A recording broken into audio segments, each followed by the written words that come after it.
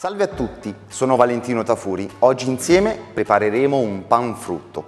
Per realizzare il panfrutto con albicocche candite utilizzo una farina panettone, una farina ad alto contenuto proteico. Con farina panettone petra e andremo a condire il nostro pane con le albicocche candite agrimontana e la pasta di limone. Vediamo insieme come preparare questa ricetta.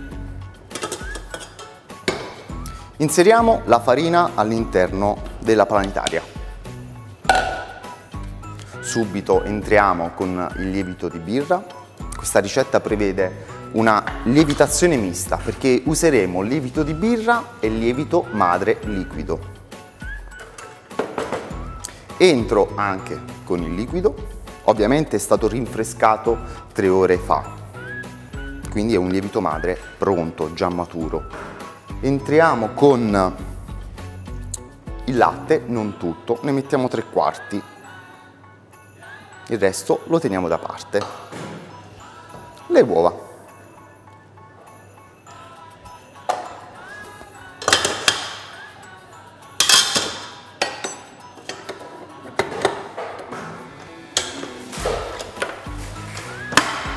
Parto in velocità media e faccio girare la macchina per almeno 4 minuti. L'importante è che l'impasto si stacchi dai bordi.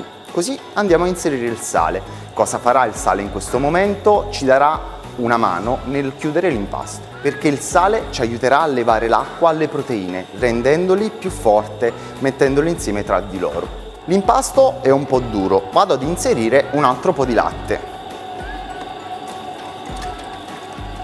È già staccato dai bordi, Ora faccio prendere un attimo il latte che ho inserito ed entro con il sale.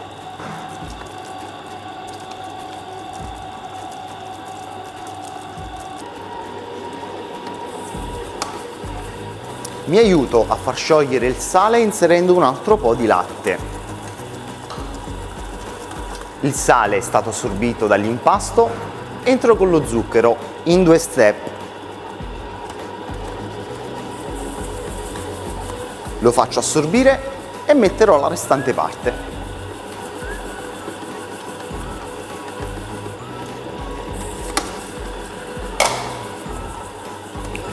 Daremo un lieve sentore di limone con la nostra pasta agrimontana al limone.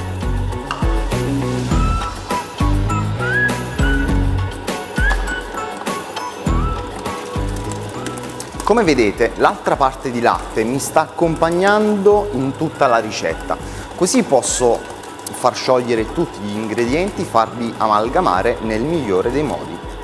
L'impasto ha preso corda, ha formato un'ottima maglia glutinica. Vado ad inserire il burro, il burro deve essere stemperato, ne mettiamo sempre un po' alla volta, aspettiamo che l'impasto lo assorba e continuiamo fin quando non abbiamo concluso tutto il burro.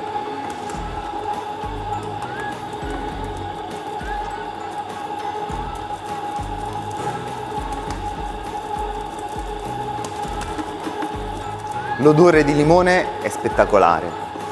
Inseriamo tutto il burro e andremo a completare la ricetta con le albicocche candite.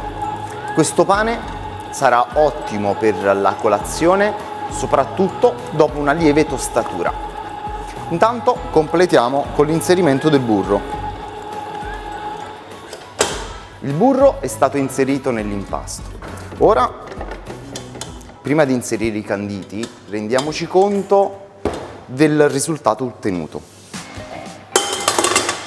È importante, al fine che l'impasto trattenga i canditi, la buona maglia glutinica. Quindi l'impasto deve risultare liscio, non deve spaccarsi. Possiamo dire che è pronto per le albicocche candite agrimontana.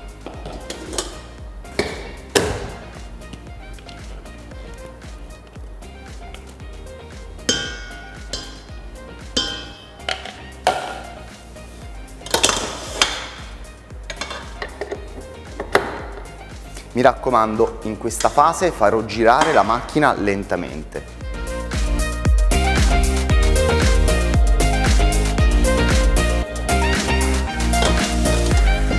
L'impasto è pronto. Ho preparato una boule imburrata. Faremo riposare il nostro impasto per 60 minuti a temperatura ambiente. Vediamo un attimo il risultato. Come vedete i canditi restano tutti nell'impasto. Questa è una cosa importante, vuol dire che si è creata un'ottima maglia glutinica, questo anche grazie all'utilizzo della farina panettone, una farina ad alto contenuto proteico che ci aiuterà a far lievitare per più tempo il nostro prodotto.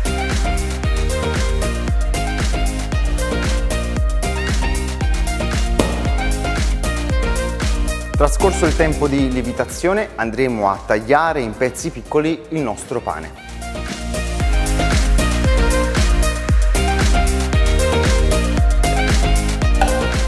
Per uno stampo plum cake piccolo faremo dei panetti da 300 grammi.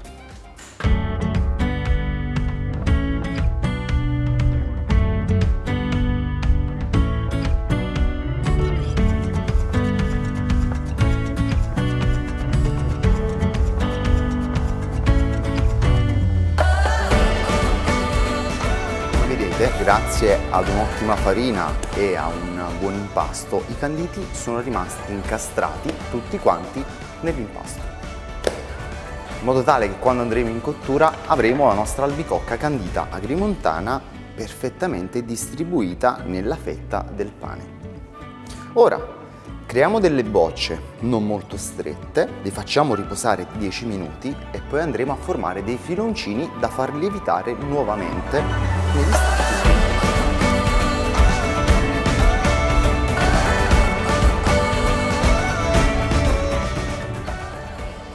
I nostri panetti si sono rilassati, ora possiamo procedere alla formatura.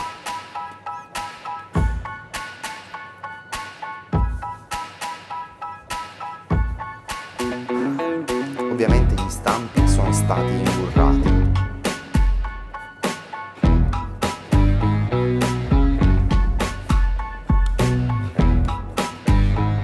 La cosa importante in questo passaggio è chiudere il panetto nel migliore dei modi, in modo tale che sia forza, che abbia forza dall'inizio fino alla fine. Così facendo, quando andranno a lievitare, la nostra forma sarà perfettamente uguale dall'inizio alla fine.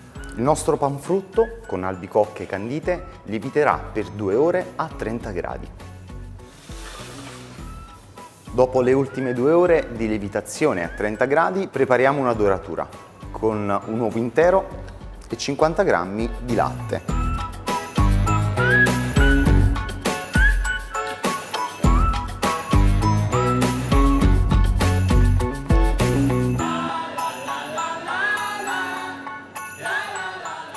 La doratura ci serve per rendere il prodotto, appunto come dice il nome, dorato dopo la cottura.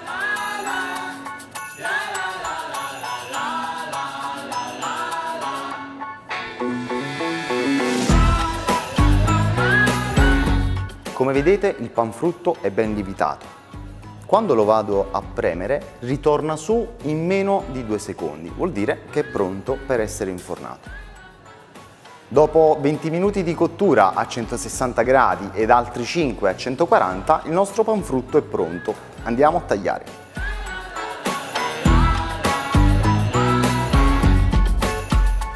È un prodotto ottimo per la colazione, potete tostarlo se vi va di aggiungere un crunch ad ogni morso o per una splendida merenda. Il nostro panfrutto con pasta di limone ed albicocche candite agrimontana è pronto.